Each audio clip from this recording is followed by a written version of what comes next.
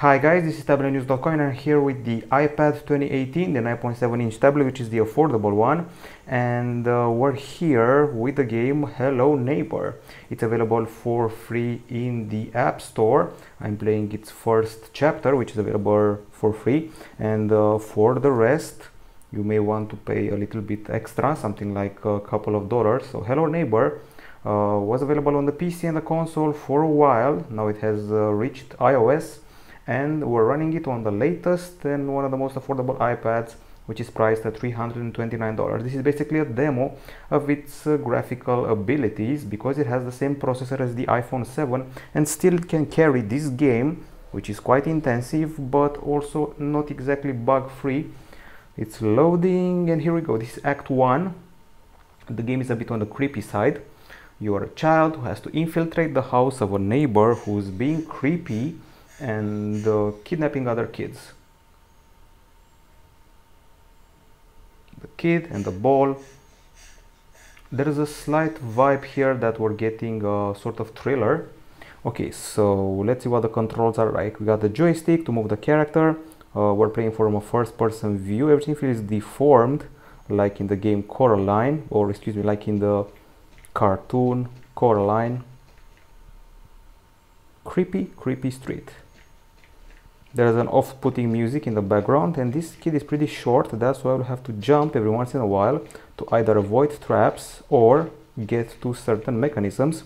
You will see. Hello neighbor is in the app store. It's been in the app store for about a week and a bit and i'm playing it on the ipad 2018 this kid is angry. I don't know why he's playing with a basketball but he knows best.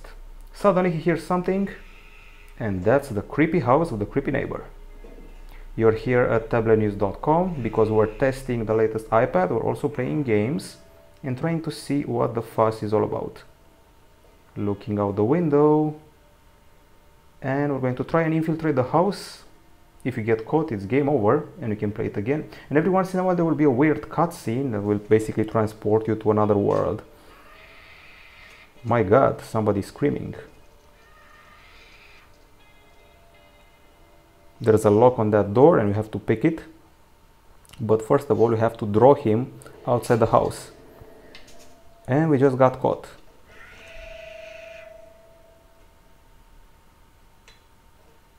Okay so the key is there.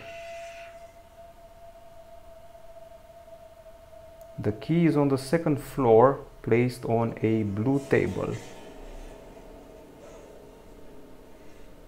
this game is mostly creepy because we don't know exactly what's happening. To tap or to use an item tap this button okay? I turned on the machine so I can make him uh, come out and see what's happening. So we can get inside the house. Let's see what's happening here. So we have to maybe jump. Jump again not sure what we're doing here. We may even get caught at some point. So uh, when the creepy guy approaches you'll feel everything around you vibrating. So at least there's that warning. Let's see how oh my god he's here. Let's see how we can get inside the house and hopefully not get killed. The aim is to reach the second floor. And we just got got okay trying again. Sometimes we'll come out of the house and do some work. Uh, every once in a while the joystick will get stuck. That's an annoying aspect which I noticed. Uh oh he's in the bathroom. Uh, to open a door tap on the lock. Eh, we got got again. He's very fast. That's something else you should have in mind. So the idea is to distract him. Here he is. As long as we're on the other side of the street, he can do no harm. Still, such a creepy character. My god. So creepy. And I'm actually impressed by how well the game looks on this iPad. I've been playing it on my iPhone 7 and uh, it doesn't look as good. Hmm, what's happening here? Fire escape.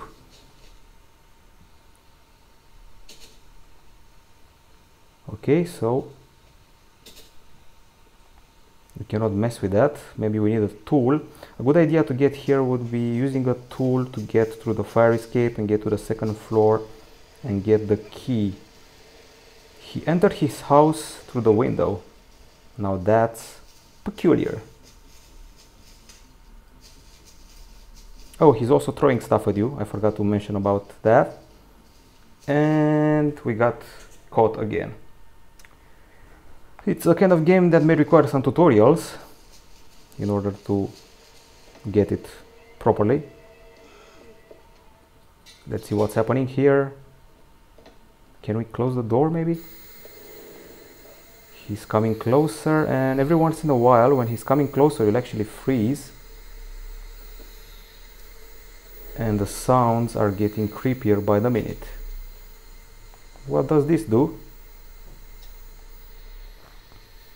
I just turned on the lights and we got caught again. It's becoming a bit annoying. You have to know what you're doing and try not to get seen. Okay, this time we're going through here. We're exploring and trying to access the house through this window here. Okay, so it would be a good idea to open some of the shelves and maybe find a screwdriver in order to make those things work. And by things, I mean that uh, ladder. Oh, there's something here? Maybe not. The perspective of the kid is very weird. I know he's short, but he's too short for his own good this doesn't open. Let's see what's happening here. We can see everything because we're too short. And sometimes you can even hide here and let the guy pass.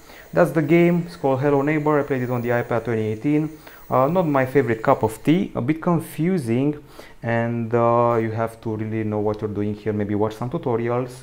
And I feel that the camera is odd, the controls are not exactly spot on with the joystick, it feels like a game for 7 out of 10 I have a bit of more exploring to do, but at least the game looks fine on the iPad 2018. This is from tabletnews.com. Bye bye.